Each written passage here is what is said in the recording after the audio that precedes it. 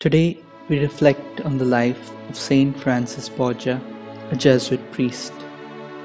He was born in Valencia, Spain in the year 1510. He was trained for life at court and married in 1529.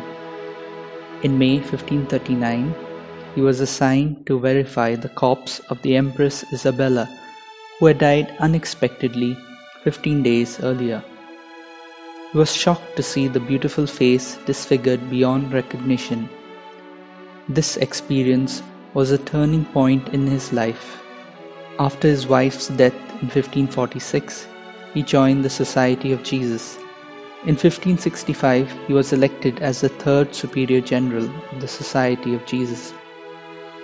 He founded the Collegium Romanum, which was to become the Gregorian University advised kings and popes, and closely supervised all the affairs of the rapidly expanding order.